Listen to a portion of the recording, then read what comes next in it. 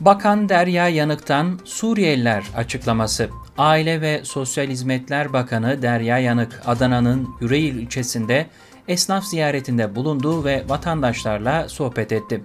Bakan Yanık, ilçedeki Suriyeli nüfusunun fazla olmasından yakınan bir esnafa, Suriyelileri peyderpey gönderiyoruz, biraz daha dişimizi sıkacağız, 2023'ten sonra bunların hiçbirisi kalmayacak diye yanıt verdi. Yanık şu ifadeleri kullandı. Suriyelilerle alakalı Cumhurbaşkanımız sürekli olarak söylüyor. Orada inşallah güvenlik tesis edildikten sonra bu insanlar zaten kendi ülkelerine gitmek ister. Biz de isteriz ama şu anda oraya gönderecek bir yer yok. Mesele sadece Suriyelilerin can güvenliğini korumak değil. Mesele bizim de sınır ötesi güvenliğimizi korumak. Türkiye'nin sınır ötesi harekatında bir terör devleti kurulmasına engel olacaksak bu bedele katlanacağız. Şimdi boşluk buldukça, temizledikçe orayı peyderpey gönderiyoruz.